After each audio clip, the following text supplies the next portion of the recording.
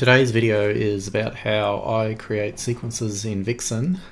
So first off, we need to find some music obviously. So I wouldn't rip stuff off YouTube because it sounds terrible. And if you're going to be sequencing, you'll probably play the song 10,000 times in the process. Find a source of music that's of decent quality. So we're going to use the Dance of the Sugar Plum Fairy. I've already purchased that one. Before it even hits Vixen, we bring it into Audacity and normalize the audio. So when we play all our different songs in the sequence as part of the show, they're all going to be the same consistent volume. Um, and that's just effect normalize, and then we'll export as a MP3 file. Back to Vixen, new sequence. Then we go audio associate. So the next step is we add some timing marks and this is a lot easier than what it used to be in the older versions. We can just run the detection wizard on it and it'll find the beats and the bars of the music and it seems to do a pretty good job. So I untick this one and then I like to have my particular color coding preference which uh, for bars is the dark red and then these fellas we make a light yellow. That's better.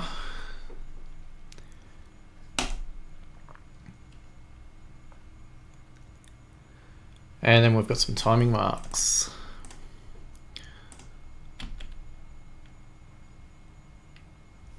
So I'm just gonna play that now and just make sure it sort of lines up now, you guys can't hear the music because I've deliberately stripped it out so the YouTube copyright doesn't get set off by it. Once you've got the audio in, I then like to break up my sequence into different sections. So I've added a couple of dummy tracks in here called info and verse, which I just use as a visual guide to let me know whereabouts in the sequence I am, because when you're scrolling backwards and forwards, it'll become a bit confusing after a while. So what I just do is I just set a, a set level effect for each section. So we'll mark out the introduction and then the chorus. So if we clone those and I give them a different color depending on what it is. And then we can actually label it if we bodgy up the launcher because it's got text on it. We can put that up there and we just call it description like intro, chorus, and whatnot. So about 15 minutes later, we've finally got the entire song marked out. So bits of the song where it repeats, I've made it the same color. So we sort of get a visual representation of how the song progresses. So my next problem is I don't want to use the entire two minutes of this song because I haven't got the street capacity to have a huge amount of people out the front. So we've sort of got to make it make these sequences fairly concise and anything uploaded online anyway. People only watch the first 10 seconds of it. So it doesn't really matter and it makes it quicker to sequence when there's less of it.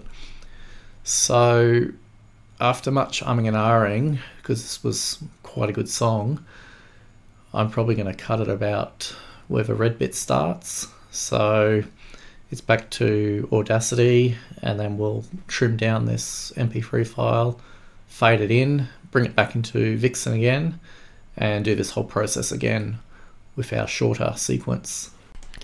So in the end we end up with something that looks like this with my very technical names of it. Being an a cappella song, it's probably a bit hard to describe each section of the song.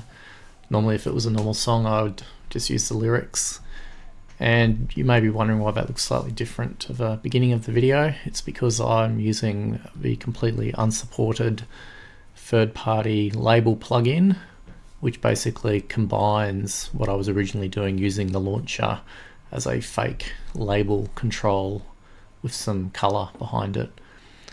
So yeah, one of the developers cooked that one up.